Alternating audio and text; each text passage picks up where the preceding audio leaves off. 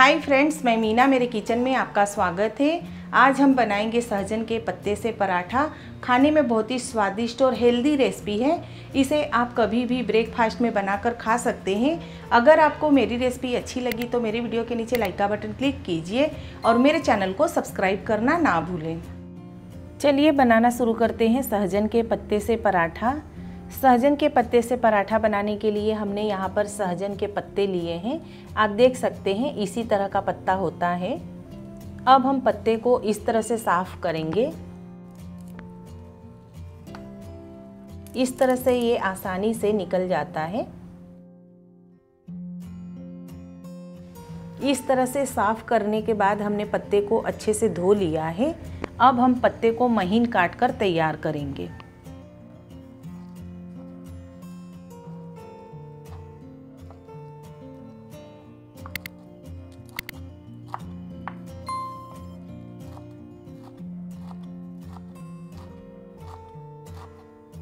देखिए, इसी तरह से हम सारे पत्ते को काट कर तैयार करेंगे। सारे पत्ते को हमने काट लिया है, अब इसे हम बोल में उठा लेंगे। पत्ते को हमने बॉल में ले लिया है, अब इसमें हम दो कप गेहूँ का आटा डालेंगे। दो बड़ा चम्मच बेसन,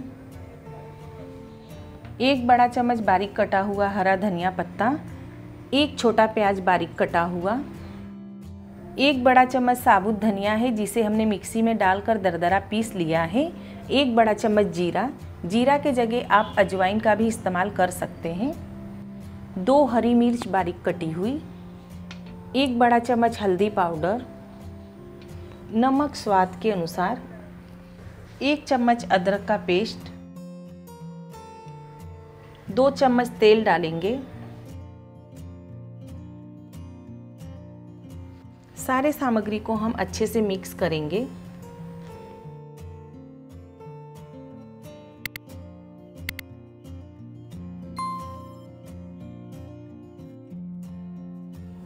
सारे सामग्री को हमने अच्छे से मिक्स कर लिया है।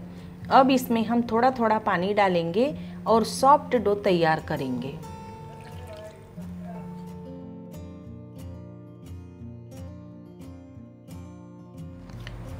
देखिए सॉफ्ट डो हमारा तैयार है। इसी तरह का सॉफ्ट डो होना चाहिए।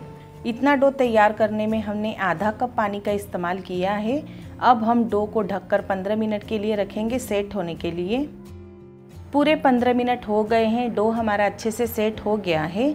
अब हम डो को एक बार और गूँथेंगे।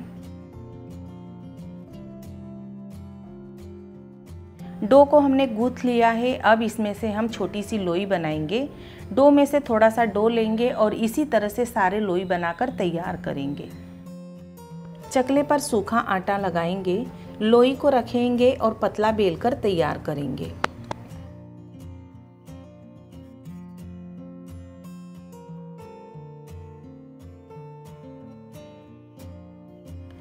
इसी तरह से हम सारे पराठे को बेल कर तैयार करेंगे और तवे पर सेकेंगे। पराठे को सेकने के लिए हमने तवे को अच्छे से गर्म कर लिया है।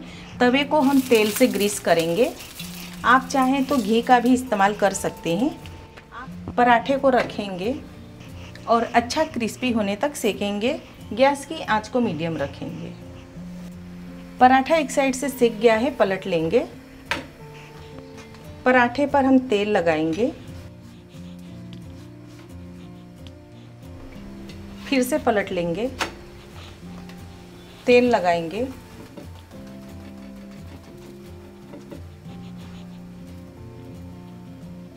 इसी तरह से हम पराठे को उलट पलट कर अच्छा क्रिस्पी होने तक सेकेंगे।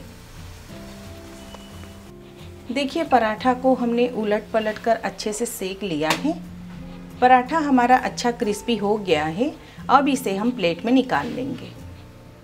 इसी तरह से हम सारे पराठे को सेक कर तैयार करेंगे।